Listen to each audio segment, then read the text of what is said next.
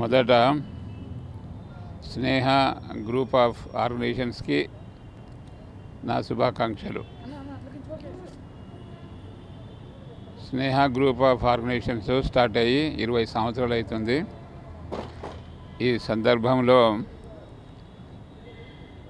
ఒక గొప్ప ఉత్సవంలాగా జరుపుకుంటున్నటువంటి ఈ ఉత్సవాలను చూస్తుంటే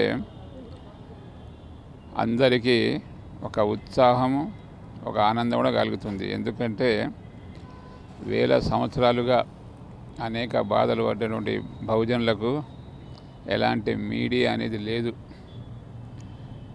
అయితే ఇప్పుడు శ్రీ శివభాగ్యరావు గారి యొక్క ఆధ్వర్యంలో ఆయన యొక్క ప్రోత్సాహంతో స్నేహ గ్రూప్ ఆర్గనైజేషన్స్ స్టార్ట్ చేసి అందులో నవంబర్ ఇరవై ఆరో తారీఖు నాడు మాస్టర్ టీవీ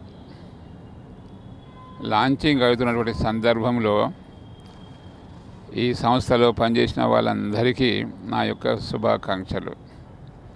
అదేవిధంగా భారతదేశంలో దాదాపుగా తొంభై శాతం ఉన్నటువంటి బహుజనులు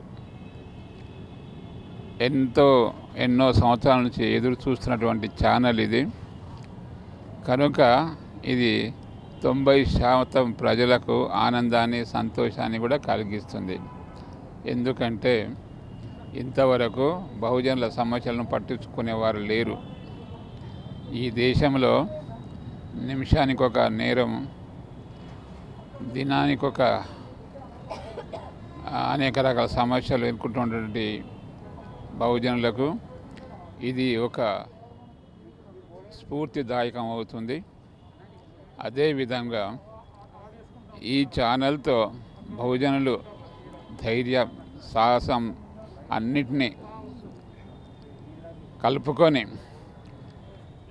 రాజకీయ రంగంలోను సామాజిక రంగంలోను అదేవిధంగా రాజకీయ రంగంలో ముందుకొచ్చి పార్లమెంటు మాదే అసెంబ్లీ కూడా మాదే మేము మెజారిటీ ఉన్నాము అని ముందుకొచ్చి వాళ్ళు వాళ్ళ జెండాతో సొంతగా సొహ వచ్చేసి రాజ్యాధికారాన్ని చేపట్టడానికి ముందుకొస్తారని చెప్పి ఆశిస్తూ ఇంకొక ముఖ్య విషయం ఏంటంటే ఈ టీవీ ఏ టీవీ చేయనటువంటి సాహసం చేసింది?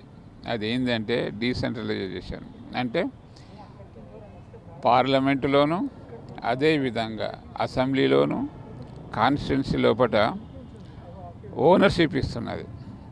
ఆ ఓనర్షిప్ తోటి ప్రతి వాళ్ళు ఓనర్స్గా ఫీల్ అయ్యి వాళ్ళకు ఇష్టం వచ్చినటువంటి వార్తలు అదేవిధంగా ఎక్కడైతే అన్యాయం జరుగుతుందో వాటిని ఎదిరించి బహుజనుల విషయం లోపల ఎలాంటి చర్యలు తీసుకోవాలో వాటిని గురించి కూడా ఆలోచించి ఒక ఉద్యమంగా బహుజనులు ముందుకొచ్చి అది వాళ్ళకు తర్వాత దేశానికి కూడా ఉపయోగపడతారని చెప్పి ఆశిస్తూ ముగిస్తున్నాం.